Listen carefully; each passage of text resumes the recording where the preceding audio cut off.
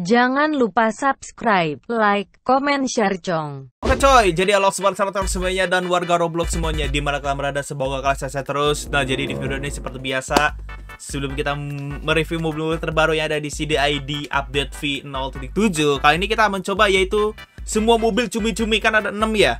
Nah jadi seperti apa sih tuh cumi-cumi mungkin kalian yang tidak dapat gitu kan cumi-cuminya dan speknya kayak gimana sih. Jadi langsung aja ini dia harga termurah sampai harga termahal. Jadi harga yang termurah dia ada dua mobil.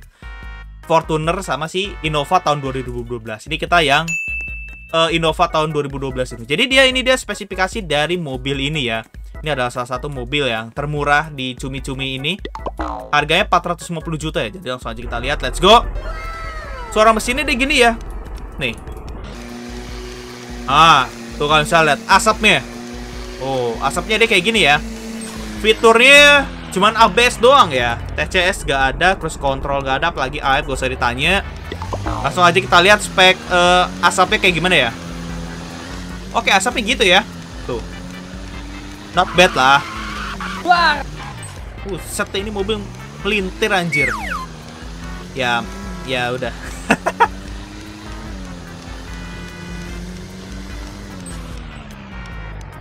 Oke, kalau dari segi pengeremannya lumayan lah, lumayan cakram, tapi tidak terlalu cakram banget lah. Nah, ini kita coba radius putarannya. Jadi untuk mobil ini tuh radius putarannya dia tuh enak ya, kecil. Tapi nggak terlalu kecil-kecil banget, normal lah. Sama juga kayak di tanjakan, sama aja kayak di belokan yang puncak itu dia sekali belok ya.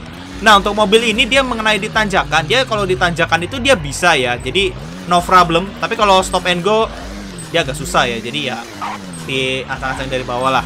Tapi intinya dia belok langsung gas bisa sih.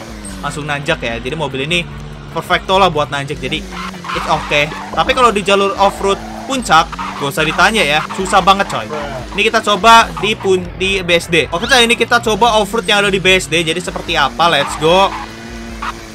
Wah, sabar, sabar, Mang. Wah, ini seperti biasa kalau jalan off-road tuh licin juga coy. Jadi mesti ekstra sabar nih.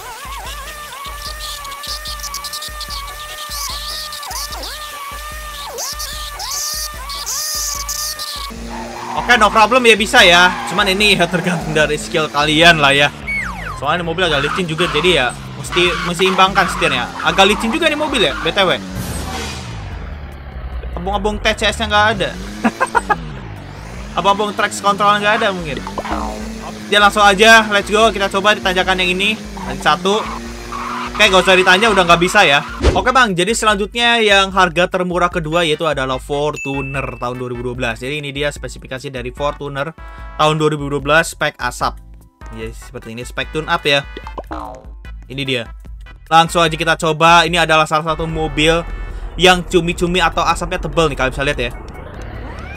Oh, gak tau bak atau emang kayak gini ya? Atau gak tau lah. Ya pokoknya untuk saat ini cumi-cumi terterbal ya ini si tahun 2012 Fortuner ini. Fiturnya ABS doang ada, lainnya nggak ada. Pasonnya burik. Tuh aja kita coba lihat cumi-cuminya kayak gimana ya. Oh, lihat lo, tebel loh. Siapa yang di sini suka asapnya tebel? Nah, ini nih. Pilih Fortuner tahun 2012 gitu, coy. Tuh, kan bisa lihat. Asapnya.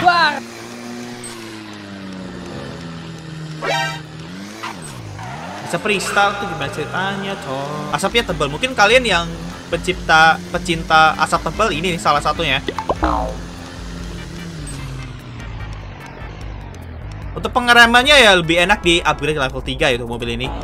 Nah, untuk radius putarannya untuk mobil ini kita coba di 10 normal. Di jalur puncak juga sama dia. Enak juga belokan itu. Nah, untuk mobil ini dia masalah ditanjakan dia enak banget perfecto. Tapi kalau stop and go ya seperti biasa agak sulit. Jadi ya udah Oke, ini kita coba di jalur off-road. Jadi kalau mobil ini tuh di off-road puncak, gak usah ditanya susah juga. Jadi ya udahlah oke-okean kalian aja ya dan ya udah. Ini kita coba tes mobil ini di jalur off-road BSD, coy. Tuh lihat asapnya tuh tebel ya. Oke, dia langsung aja kita coba. Let's go.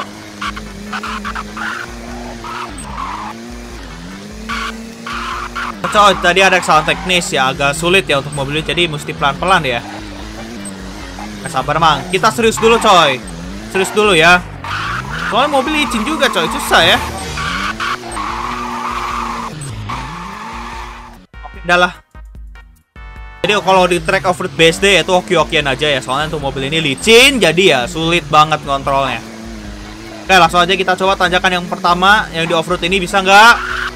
Oke dah lah Oke selanjutnya yaitu adalah Pajero tahun 2017 Jadi ini dia spesifikasi dari si Pajero Yang ada cumi-cuminya coy Ini dia spesifikasinya ya Yang sudah ditutun up juga Oke langsung aja kita masuk Jadi kita lihat efek asapnya kayak gimana Ya, pack asapnya biasa aja. Fiturnya di sini dia TCS ABS ada, cruise control uh, cruise control ada, tapi untuk AF nanti kita coba deh. Kayaknya nggak ada di mobil beginian mah. Oke, langsung aja kita lihat ini dia efek asapnya kalian bisa lihat. Awas, nanti nabrak lagi kayak uh, Fortuner lagi. Ya, untuk efek asapnya standar lah ya, biasa aja tuh, tidak terlalu tebal kayak si Fortuner. Oke.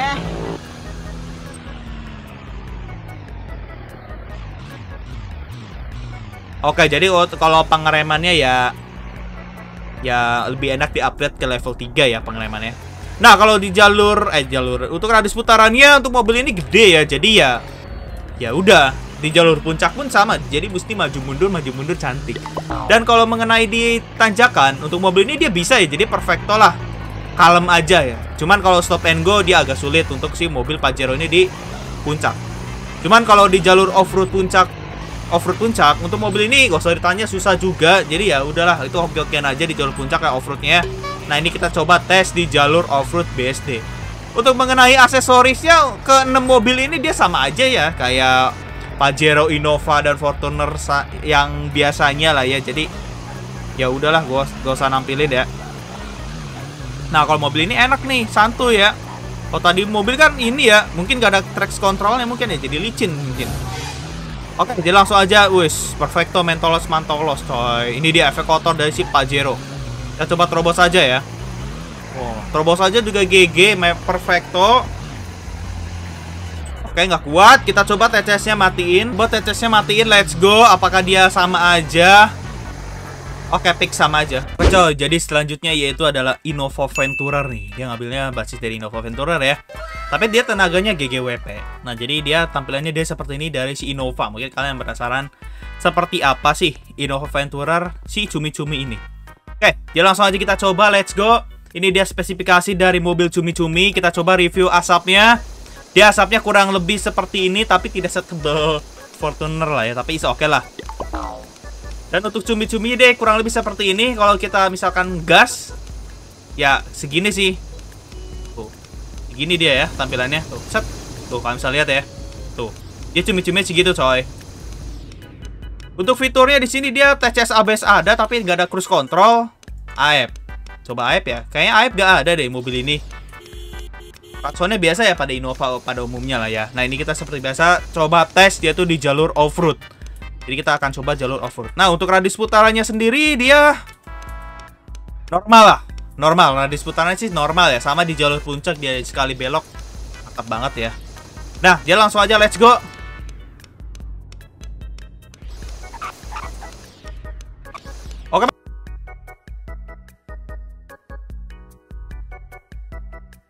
Udah berada di jalur off-roadnya. Jadi ini dia spesifikasi dari uh, Kalau misalkan ada efek kotornya. Kalau bisa seperti ini dari si Innova ya. Sama aja ya efek kotornya kayak Innova pada biasanya lah ya. Ini kita coba off-road. Kalau misalkan dibawa off-road Dia GGWP nggak sih gitu kan? Jadi langsung aja let's go. Oke jadi langsung aja kita coba dibawa off-road. Jadi mobil ini tuh bisa nggak sih? Let's go ya. Oke ternyata gampang ya. Oke sabar sabar sabar. Wes Lumayan licin ya jadi kalian harus mengimbangin kalau kalian punya mobil ini ya. gampang ya. Jadi easy lah. Cumi-cumi jauh bawa over dos. Oke, terobos aja GG. Langsung aja kita coba di tanjakan satu ya. Let's go. Oke, di sini udah susah ya. Kita coba TCS-nya matiin apakah dia ngaruh atau enggak. Berarti TCS-nya mesti dimatiin ya kalau gue. itu kenapa bisa gas gitu ya? Nah, kalau di sini sih udah pasti susah ya. Memang jadi selanjutnya yaitu adalah Pajero tahun 2021. Uh, dia ngambil dari Dakar ya. Jadi tampilan seperti ini kalau udah di uh, spek modifikasi atau spek cumi-cumi lah ya. Tenaganya juga gini juga beda banget sama aslinya ya jelas lah jadi tampilannya dia seperti ini mungkin kalian merasakan Pajero cumi-cumi itu kayak gimana tampilannya nih ini dia oke jadi langsung aja kita masuk ya kita coba greng-greng nah jadi ini dia efek uh, asapnya. Asapnya kurang lebih seperti ini ya. Tuh kurang lebih seperti itu. Soalnya dia kurang lebih seperti itu garang ya. Fiturnya dia lengkap touch abis ada ada cruise control. Untuk AM nanti kita coba aja di jalur offroad. Oke kita kita lihat cumi-cuminya apakah dia tebal atau tidak nih. Let's go. Oke, cumi-cuminya ya biasa aja ya, nggak terlalu tebel ya. Tuh, biasa aja ya. Jadi kurang lebih seperti ini, coy. Mantap ya. Nah, set. Wah, pengeremannya mesti di up level 3 nih. Mungkin kalau kalian punya mobil ini, gimana rasanya? Oke, kita coba radius putarannya. Apakah kecil atau gede sebuah mobil SUV leather frame ini? Ya kalau mobil ini sih gede ya, jadi ya sama kayak di jalur puncak juga dia gede banget, jadi mesti maju mundur maju mundur cantik gitu kan. Nah tapi kalau mobil ini ditanjakan dia masih bisa ya, masih bisa, masih bisa mulus. Cuman kalau stop and go dia agak susah ya, jadi mesti ambil ancang-ancang lah kalau misalkan nggak mau repot ya. Dan kalau misalkan mobil ini dibawa off-road puncak dia nggak bisa ya, jadi susah banget lah, mending jalan kaki aja udah. Nah ini kita coba tes di jalur off-road, jadi apakah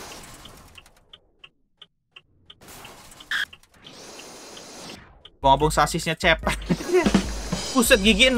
Itu gimana ceritanya gigi 6 masuk sini ya? Oke, ya seperti biasa mobil beginian lah gampang turu ya. Langsung aja ini dia animasi efek kotornya ya. Ya ya Pak Jero udahlah pasti tahu lah ya. Ini kita coba bawa off-road. Jadi kalau misalkan bawa off-road GG nggak nih? Oke, agak licin ya, tapi tinggal mencimbangin aja tuh kiri sama kirinya, Mang. Tapi gampang ya. Tuh, easy gitu kan. Tuh, perfecto ya. Tuh. Nah, ini ya, jadi mantap banget lah untuk mobil cumi-cumi inilah atau bisa kalian bilang cumi-cumi ya. Oke, kita coba terobos saja, Pak terobos saja GG atau enggak. Oke, GG ya. Buset, keren. Kita coba tanjakan dua. Oke, nggak kuat. Kita matiin TCS-nya dulu. Let's go. Apakah dia bisa? Oke, ya udahlah ya. Jadi ini dia spesifikasi dari si Pajero. Oke mang, jadi yang terakhir ini dia mobil cumi-cumi termahal ya 900 juta tembusnya Wow Oke jadi ini dia Fortuner 2.8 GR ya Dia ngambil dari 2.8 GR Sudah tune up juga tenaganya jadi GGWP Ini dia spesifikasinya Langsung aja kita coba naik let's go Ini efek uh, asapnya Ya dia efek asapnya seperti ini ya Tuh. Tidak terlalu tebel Klaksonnya gini TC ABS ada, cruise control ada, tapi nanti kita coba fitur AF-nya ya. Oke, langsung aja kita lihat efek cumi-cuminya dia kayak gimana, apakah tebal atau tidak. Oke. Tapi ini masih lumayan sih, lumayan ya. Tapi cumi-cuminya lumayan banyak nih. Oke, mantap ya. Jadi pengeremannya dia, dia seperti itu. Ya, itu terserah kalian mau di-upgrade tenaga atau kagak ya. Eh, mau di-upgrade tenaga, eh, upgrade uh, remnya, lupa, sorry coy. Radius putarannya dia gede juga. Jadi kalau misalnya di jalur puncak juga sama tuh, mesti maju mundur maju mundur cantik ya. Nah, tapi untuk mobil ini dia ditanjakan juga dia GGWP jadi santuy, stop and go juga santuy gitu ya. Jadi mantap banget lah. Oke, ini kita coba Fortunernya di bawah off-road nih. Si tune up ini apakah GGWP atau tidak nih? Let's go, kita coba ya.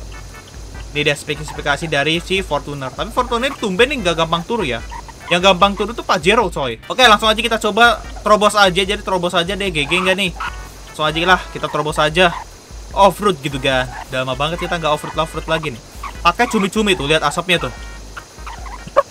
Asapnya begitu ya. Oke tapi perfecto lah Oke jadi gampang banget ya Wow, jadi ini dia spesifikasi kalau Fortuner kotor ya. Kita coba terobos saja. Mau terobos saja GG atau enggak? Let's go.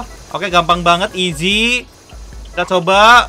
Oke, nice. Oke, berarti mesti TCS-nya matiin. Kita coba TCS-nya matiin. Let's go. Apakah dia bisa masih bisa atau tidak? Let's go. Uh, bisa ya. Berarti sama kayak Innova, tapi kalau di sini sih udah pasti nggak bakalan bisa ya. Lewat sini mah mending AWD atau 4x4 lah. Udahlah, emang jadi mungkin itu dia review lengkap mengenai mobil cumi-cumi. Mungkin kalian penasaran kayak gimana sih tuh mobil cumi-cumi di bawah segala medan dan segala macam. Kalian bisa lihat sendiri aja. Kesimpulannya, ya keren banget lah ya namanya juga mobil cumi-cumi. Pasti kalian suka banget sama mobil cumi-cumi. Tapi kalau misalkan kalian pengen asapnya tebel, ya lebih bagus Fortuner tahun 2012 ya yang TRD yang kalian bisa lihat tadi kan. Nah, tapi kalau masalah top speed yang tertinggi itu kita bilang bisa kita bilang yaitu si Pajero ini. Karena dia bisa sampai 270-an, tapi itu kalau spek jalan lurus aja ya. Sebenarnya masih bisa naik cuman agak susah ya. Kita ngambilnya dia 270-an aja ya. Tapi dia bisa bisa naik kok. Nah, kalau di turunan dia bisa sampai di 320 ke atas loh. Keren banget. Tadi kita coba di Jateng 320, masih bisa tuh naik juga masih bisa ya. Kemungkinan sih mungkin 340 mungkin atau 350 mungkin. Kalian yang berpengalaman komen aja di bawah ya. Pokoknya itu dia pengalaman gue pakai mobil cumi-cumi yang ada di CDD ke 6 mobil ini. Jadi itu aja kesimpulannya buat kalian mobil apa nih cumi-cumi yang punya bisa komentar aja di bawah oke mungkin kayak gini dulu aja jangan lupa subscribe buat kamu belum like juga sebanyak-banyak dan komen juga di bawah untuk top speed dan akselerasinya kalian bisa lihat aja di akhir video selebihnya oke jadi sampai jumpa di next video Roblox. Jadi dari lagi guys. Bye bye.